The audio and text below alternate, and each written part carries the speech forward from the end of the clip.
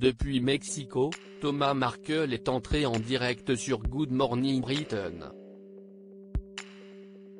Le père séparé de la duchesse des Sussex était particulièrement remonté en parlant de ses droits de voir ses petits-enfants.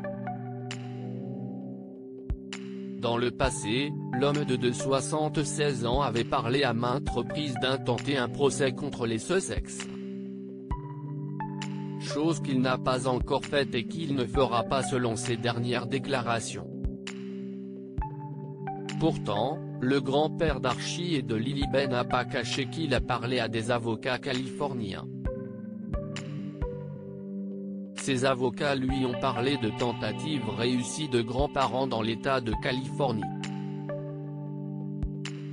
Susanna Red et Richard Madley de chez Good Morning Britain ont demandé à Thomas Markle à propos de son action en justice.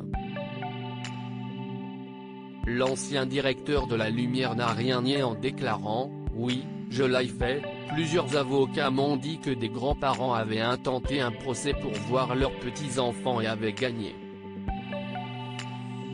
Auparavant, Thomas Markle avait déjà parlé de son intention de se battre en justice pour avoir accès à ses petits-enfants dans une interview avec Fox News. Cependant, lors de cette interview au Good Morning Britain, Thomas Markle semble vouloir adopter une nouvelle position. Thomas Markle s'adresse directement aux enfants de Meghan et Harry il a déclaré « Je ne vais pas faire ça ». Je ne veux pas que mes petits-enfants soient des pions dans un jeu, ils ne font pas partie d'un jeu, en parlant du procès. Par ailleurs, lors de cet entretien avec Good Morning Britain, le grand-père qui n'a jamais eu l'occasion de voir ses petits-enfants s'est adressé directement à eux. Thomas Markle leur a fait comprendre qu'il venait de deux familles aimantes.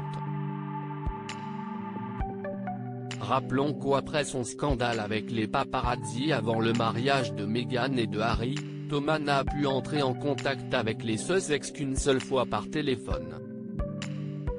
Par ailleurs, Meghan Markle est en froid avec tous les membres de sa famille sauf avec sa mère Doria Raglan avec qui elle et Harry entretiennent une relation très étroite.